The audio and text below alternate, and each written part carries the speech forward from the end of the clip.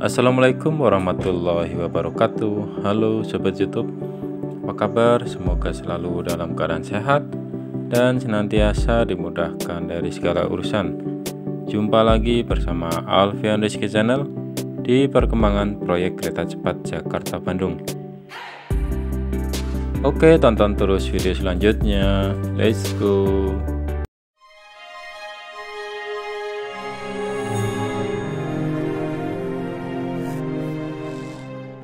Bandung 1 Agustus 2022 sekitar pukul 16.30 waktu Indonesia Barat. Saat ini saya berada di flyover atau overpass Menger memantau progres perkembangan proyek kereta cepat Jakarta-Bandung saya memantau progres perkembangan subgrade yang sedang dipadatkan menjelang proses pemasangan rel di jalur subgrade ini. Saat ini subgrade Menger sedang dipadatkan kembali. Mengingat beberapa waktu lalu subgrade Menger ini memang dibuat sedikit lebih rendah ya. Karena untuk lalu lintas perjalanan komuter transporter saat membawa box girder arah stasiun Tegaluar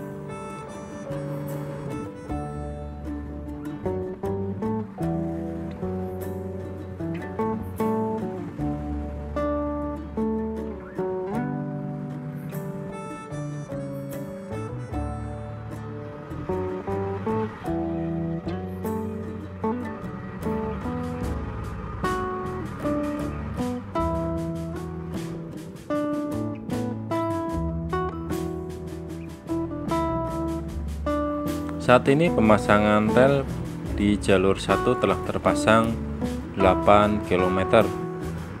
Sedangkan pemasangan rel di jalur 2 telah terpasang 6 km per hari ini 1 Agustus 2022. Saat ini balas yang berada di jalur 2 terus dipadatkan untuk proses pemasangan rel menggunakan track laying mesin saat ini pemasangan track laying mesin sudah sampai di kilometer 144 tol Purbalenyi.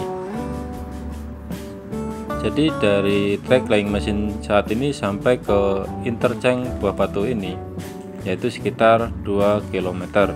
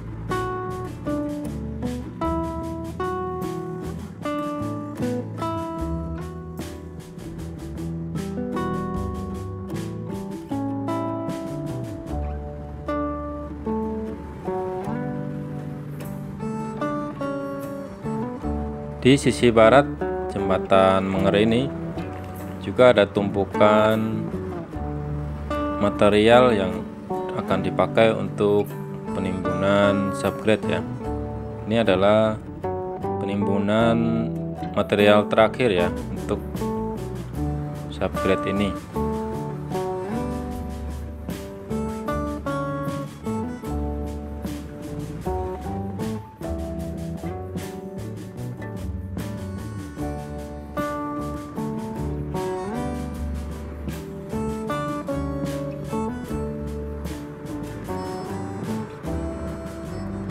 Inilah subgrade yang mengarah ke arah casting yard 4 Kopo Bandung.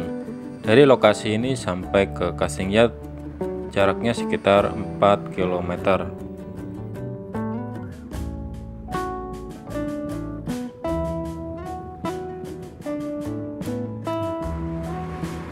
Saya berpindah lokasi di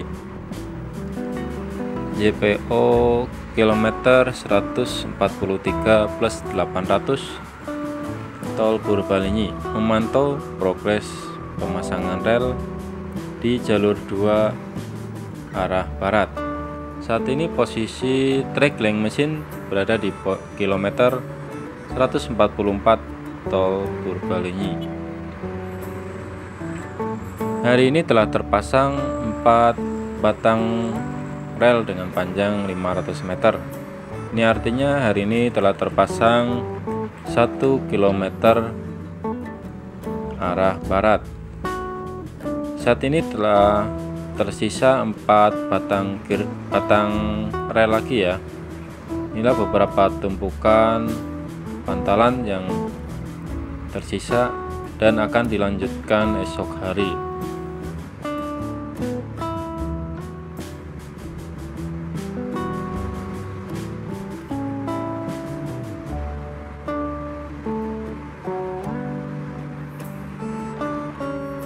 Sekian liputan terkini dari progres pemasangan rel di jalur elevated arah Jakarta.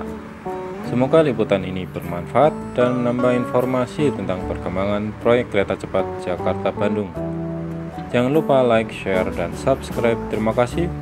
Salam sehat, salam sukses selalu. Wassalamualaikum warahmatullahi wabarakatuh.